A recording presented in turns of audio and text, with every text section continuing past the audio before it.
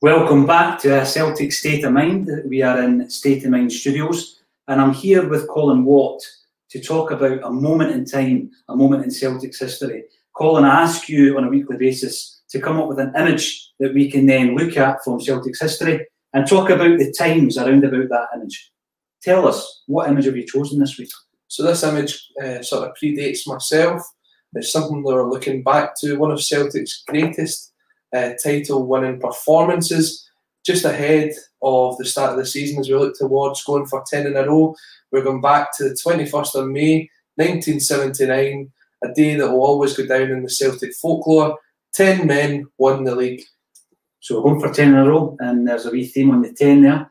Um, it's a game I know really well, even though I had only been born the previous year. It is a game I know well because Andy Lynch was involved in this game.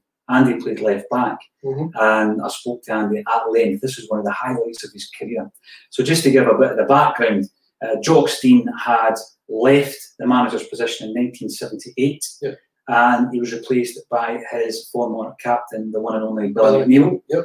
Uh, I've asked the question quite a bit. Was there anyone else who could have replaced Jock Stein at that time? Well, that's an interesting question, and um, obviously Scottish football still in that resurgent period.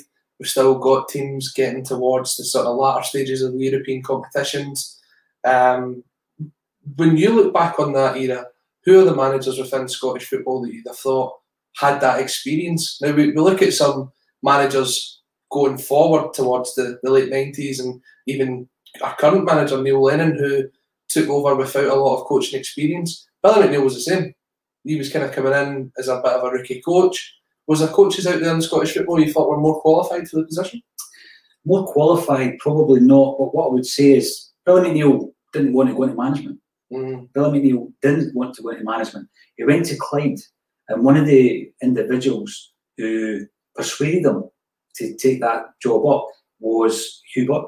Hubert had been the photographer at Celtic yep. for many, many years, and he took the famous picture of the Lisbon Lions, the only colour image of the Lisbon Lions and the Big Cup and Jock Stein, the only colour image. And you actually see that if you go into the reception area at Celtic Park, so on the right hand side on the wall. Mm, yeah. So that was Hughie Burt, uh, the late Hughie Burt took that image. So he was obviously really friendly with Jock Stein, he was friendly with Billy McNeill, um, away from the club as well. And he got Billy into the coaching and into the idea uh, management. And it was only when he was approached by Clyde um, that that Billy, you know, changed his mind and got into management. He then moved to Aberdeen, and when the manager's post came up at Celtic, the suggestion is that paper talk around at that time was there were three in the running.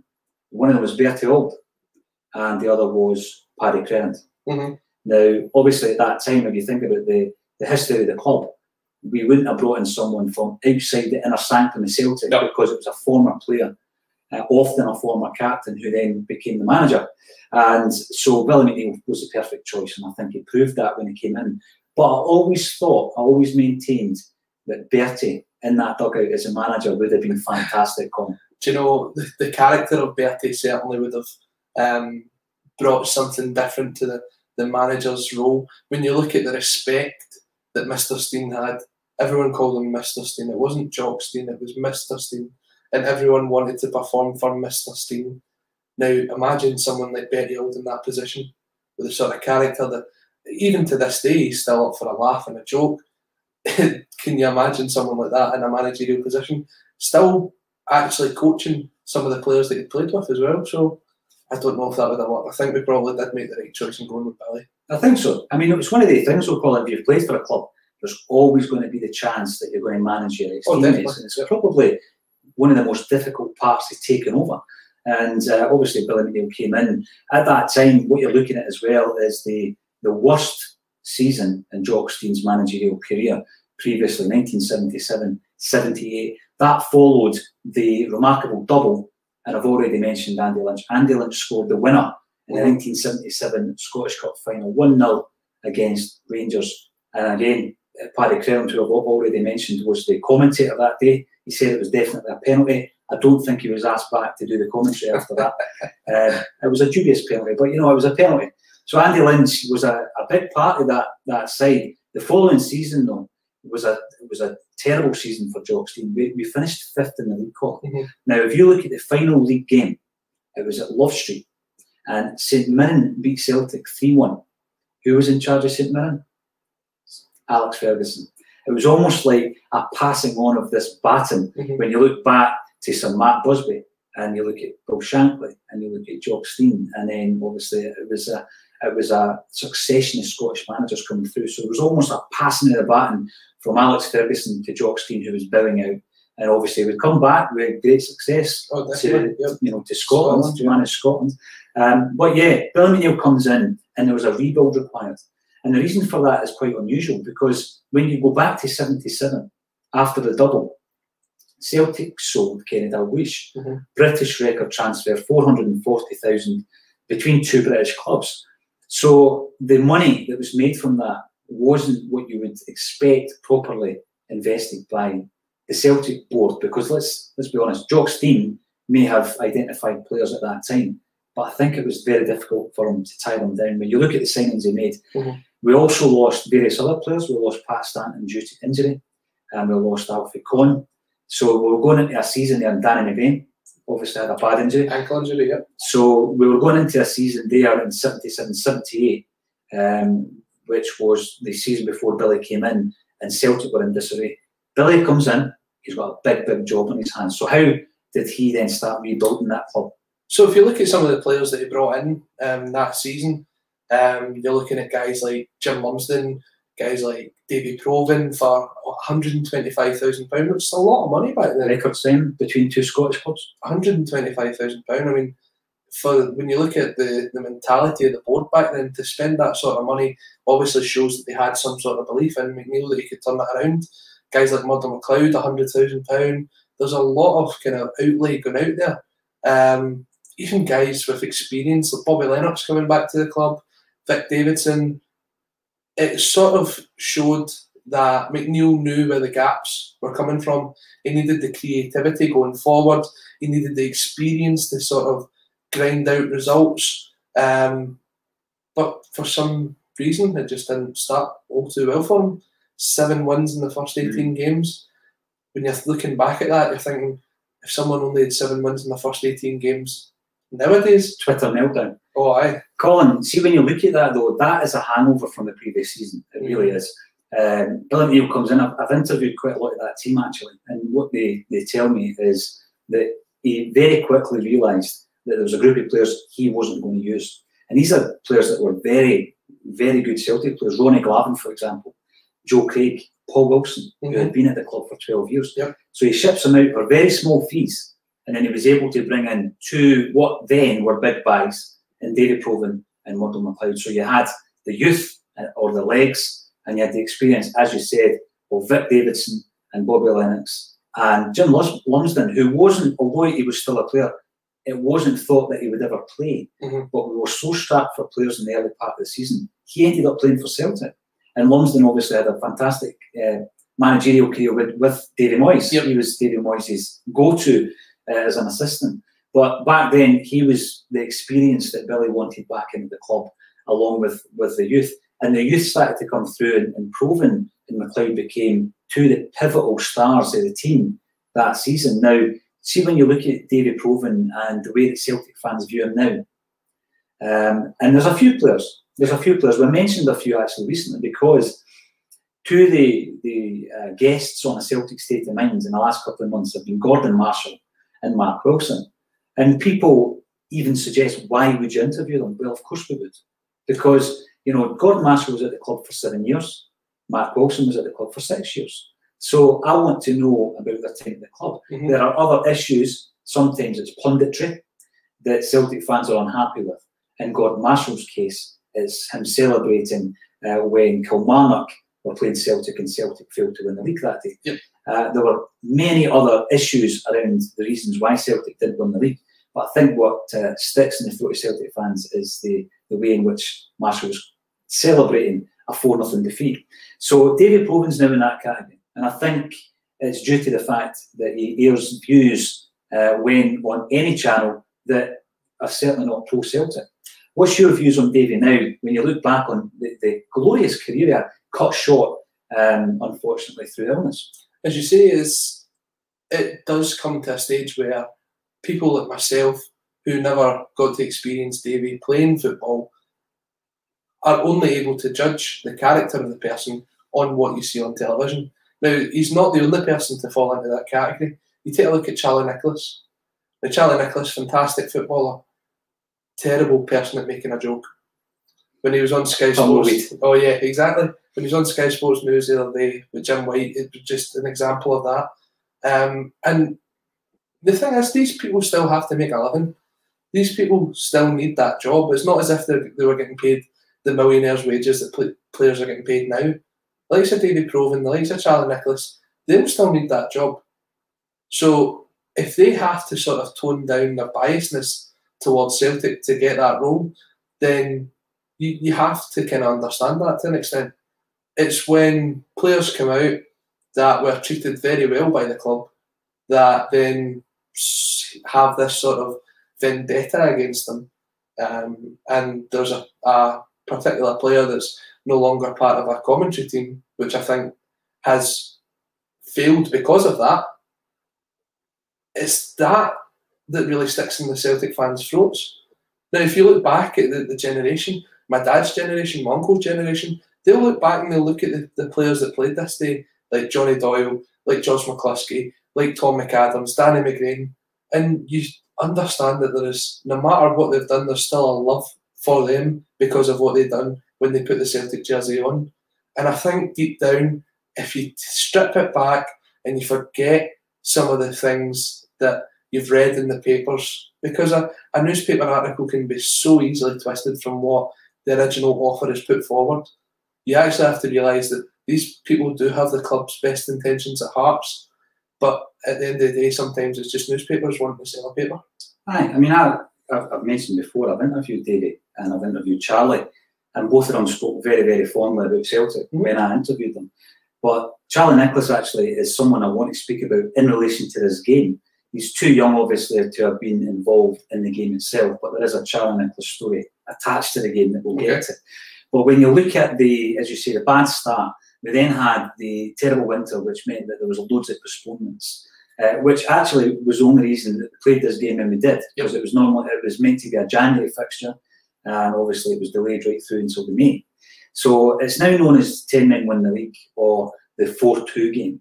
And I've spoken to uh, Andy at length about the game, you know, blow by blow. I've spoken to Danny about the goal that whistled in past him and against the post and, and into the net. And he still regrets that because he could have stopped it, but he thought it was going wide mm-hmm. because he had his hand on the post. So it was a night of drama there was a lot of things kind of happening around that time as well because there was a, a, a television strike, yeah. which means that we can't watch it in glorious technicolor like we are putting this out in glorious technicolor here, Colin, live on various different channels. So welcome to all our Twitter uh, viewers uh, as well as Facebook and YouTube. Um, but also there was a there was a strike on with the rails yep. network and, and also buses. So people look at the attendance and they think, oh, wasn't it as big? I think the official attendance was 56, but uh, the, the, official attendances and the actual attendances were two different things. anyway, Colin. But certainly, I've spoken to a lot of people who were at that game. It was one of the ones everybody seemed to be at. And one of the guys who was at it was Charlie Nicholas. So let me tell you my Charlie story. So Charlie Nicholas at that time was an up and coming. He was the, the guy, the golden boy, if you like. Um, and there was a group of them who were part of Neil Mochan's ground staff. So they were all going to the games. See, this is what's changed. They were all Celtic fans. So we had Charlie Nicholas, we had Jerry Crawley, who's now the president, I think, of Queen's Park. Okay. Uh, Danny Crainie, Willie McStay, and a, a, guy called Hugh Shanty Ferry from Castlemilk, who was always uh, looked back on fondly by all of his teammates I've spoken about. I think he was the, the guy in the changing room that kept the, the kind of energy levels oh, okay. Um, for want of a better description. But the, they guys all hatched a plan. They were all going to the game.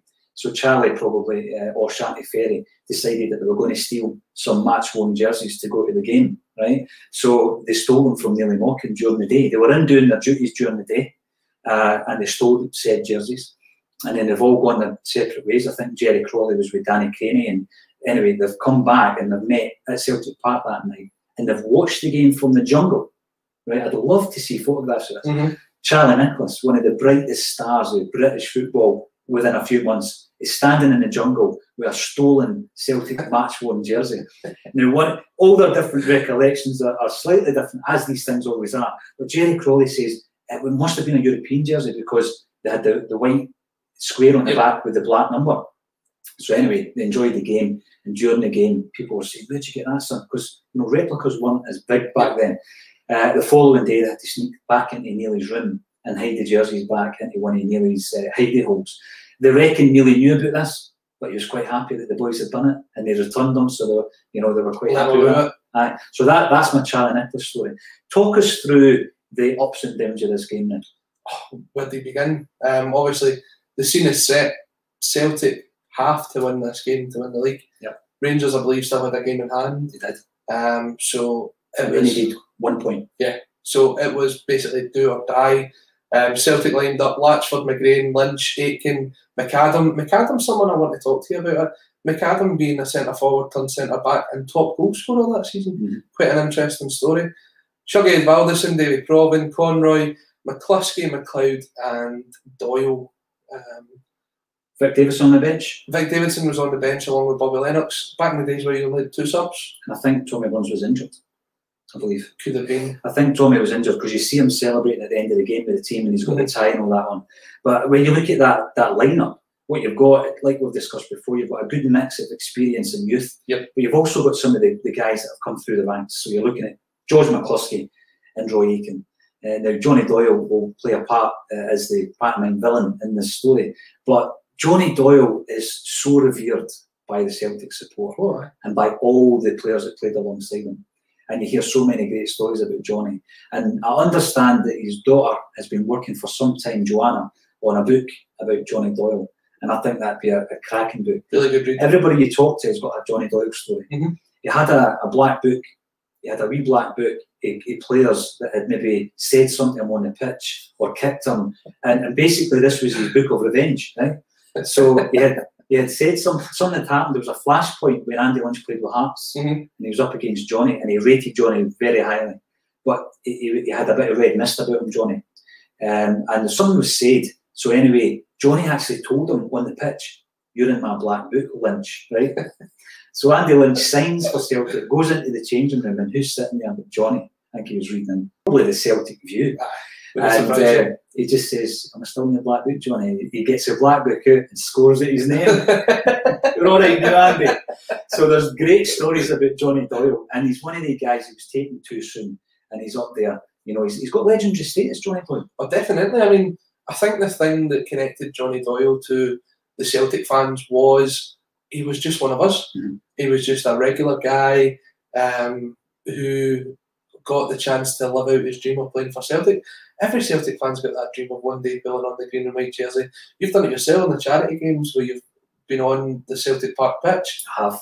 Um, and I'm very jealous of you. I've been on a diet ever since, but I have I have ran on the Harlow turf, and a, a bit of footage um, arrived recently about that. It, it showed. Oh, it, was like, it was like a, a kind of bit of Pirlo esque, you know, but it's, and it was me. And how many hours of editing did that take? Quite a bit. so I put it up, and Tom Boyd went on Twitter, and he was like, "I'm glad you did that because I was about to take you off. It was about five minutes into the game, but I did it. I played on that Harlow pitch. It was a brilliant experience. But that's the thing. Johnny Doyle got to live that mm-hmm. dream, and not just the ones with the Pirlo touch, but for multiple occasions, and that seems to connect with the Celtic supporters. You take it to the modern day and you would compare Johnny Doyle to say Kieran Tierney, um, in yeah. that sense that he was the Celtic boy growing through, going through the roof, uh, going through the youth, not going through the roof, um, and coming and playing and playing as if the Celtic jersey was the only jersey there,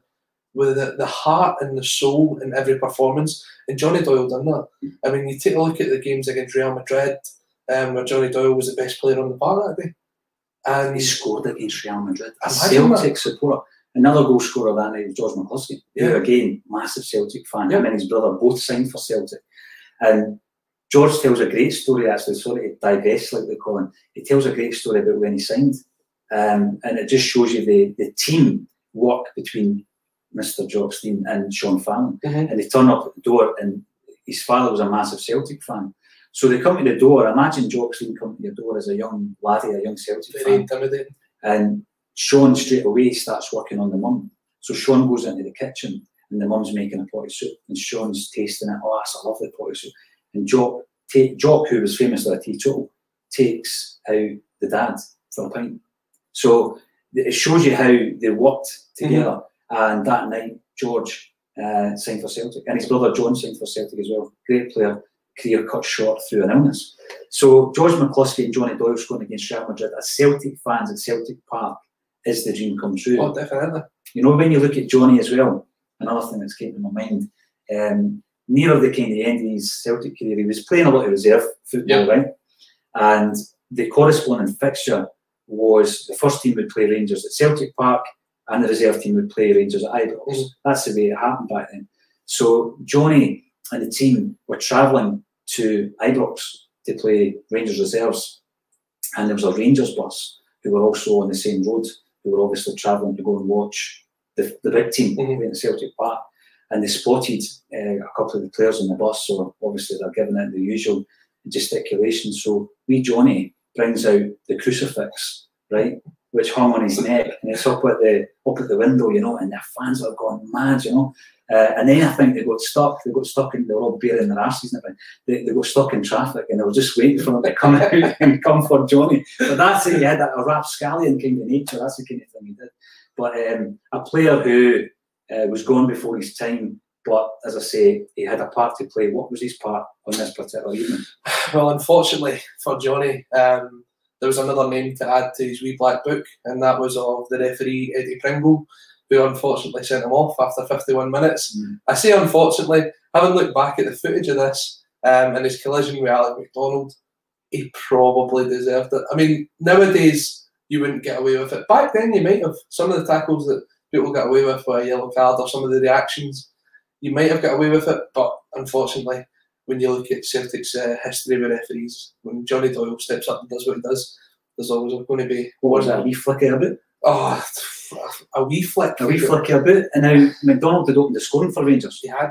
Yeah. Um, he was already on the deck when wee Johnny uh, reminded him that he was there. So, yeah, and again, it's one of the things I say pantomime villain because obviously the outcome of the game, Colin, meant that it's gone down in folklore, but it didn't cost Celtic the title. No. At half time, a few of the players have told me at half time they had a go at Johnny. Now, Johnny was was absolutely devastated Mhm. in the changing room. Um, sorry, not half time, at, at full time. You might have lost us this game. So he was he was gutted. He was still sitting there with his kit on, by all accounts. He hadn't gone in for a bath.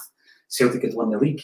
And it probably took somebody like Tommy Burns to say to him, come on, get, in, get involved with the celebrations. But a few of them had a go. So it just shows you, you know, the emotions run high in a changing room. But it's understandable because when you look at some of the players that are in that, that squad, they were Celtic men. Yeah. So to lose the league is bad enough, but to lose the league to a Rangers side would have been unthinkable. So when you look at guys like Roy Aitken, like Danny McGrain, um, like George McCluskey, you can see why they would have had that reaction to Johnny. Um, but would we be looking back on this with such fondness if it wasn't for the fact that we still call it 10 men won the league? You know, it's part of the folklore. And I think at half time, whilst Johnny uh, was still on the pitch, it's 1 nothing to Rangers. Yes. Talk us through the second half. Well, the second half, obviously, a lot, well, we're only a matter of minutes into the game, into the second half, when Johnny gets sent off. As I said, wee Eddie Pringle goes into his wee black book. To be fair to Eddie, it wasn't him that directly sent him off, it was the linesman who called them over. Um, but there was a bit of surprise in the air when Johnny gets sent off. Having listened back to some of the players that played that day and what they says, they felt that the sending off just sort of gave them a bit of a boost, weirdly, Mm. to fight that bit harder, to dig in, to kind of keep going. And it shows because Celtic equalise on the 66th minute, Roy Aitken scores. There's a belief about the stadium that this is going to be the day, we're going to turn it round. And only a, a matter of minutes later, George McCluskey makes it 2 1. And at that point, with 15 minutes to go, a lot of the fans that were there were thinking, it's done. Unfortunately, it wasn't quite as you said. Danny McGrain was unable to make it to stop it being two each. when he's on the post. A fantastic goal, to be fair to. Danny can still hear the sound of the ball hitting the post. Yeah. He says it haunted him. They can still hear it because he could have stopped the ball. It was, it was almost perfect. The goal, the the angle of the shot from the edge of the box, a corner that was that seemed to be cleared, and a bullet of a shot. Fair play to two each. Ten minutes to go. Things are getting very nervy, as we said. Rangers only need a point to win that league. They're holding on. A cross comes over, and Colin Jackson with the one goal. A save from the goalkeeper. I can't remember who the Rangers goalkeeper was. Palmed out to Jackson's feet. He could do nothing about it. He puts it into his own net. Celtic players were chasing it in to make sure that it did go in. And then, just as the game's uh, coming towards the end, Murdo McLeod, the ball's picked up on the halfway line, played to Murdo about 25 yards out, a whistle of a shot into the top corner. 4 2, the game is over, the league is over. Celtic are the champions. The game is over. I liked that. I thought we were moving into takeover territory. the game is over. Now, that goal, famously, was voted on the same evening, and it's probably been overshadowed by the fact that Lee Jenkins was voted as Celtic's greatest ever player. Mhm. But Celtic's greatest ever team was also uh, voted for that night, and the greatest ever, what was then an old firm goal, something we'll not be seeing this season, um, was voted, and it was Murdo McLeod's strike. Now, that's incredible because it wasn't televised commercially. No. There was the Celtic Cine Club, I think, had some grainy footage. So the goal does exist and you can search for it on YouTube. But again, going back to Andy's, not to sound like I'm repeating myself, but Andy remembers the goal well because he was actually matching Murdo's run Mhm. and he was just thinking, do not shoot, don't shoot, we're 3 2 up. It was that famous moment, just to have a dig at John Barnes, when Liverpool lost the league to Arsenal. Now, this is before your time. And um, at that time, Liverpool were in control. It goes up to the top right of the pitch where John Barnes has the ball. All he needs to do is shield it, he loses the ball. Arsenal went down and Michael Thomas scored Yep. and Arsenal won the league. So it was one of the ones and Andy shouting at uh, Murdo, don't shoot, don't shoot. And we know what happened. So uh, an incredible, an incredible turnaround, if you think, about where Celtic were at the beginning of the, the campaign and, you know, after Johnny Doyle got sent off. Uh, but as you say, it galvanised them. It seems to be the Celtic way, doesn't it? That we always find the most difficult way to do things. You take it back to Lisbon, we're 1 0 down. You take it back to. oh, there's been multiple times throughout Celtic's history where all the odds have been against us and we've still managed to find a way to come through and prevail. That's in that's that's in the tapestry of the, the, the club, isn't it? Because the odds were always against Celtic, even being formed back in 1887. So I think there is something special about that. To quote the manager at the time, there's a fairy tale about this club, and we do see it. People think, ah, you know, you're over sentimental or you're romanticising about it. But a, result like that against all the odds to win the league, you were quite right in saying Rangers still had a game to play. Mhm. It was against Partick Thistle at Ibrox. And you know it's called the Ghost Game. There was two and a half thousand at Ibrox that night. And that was even with people getting lifted over the barriers. Well, there you go.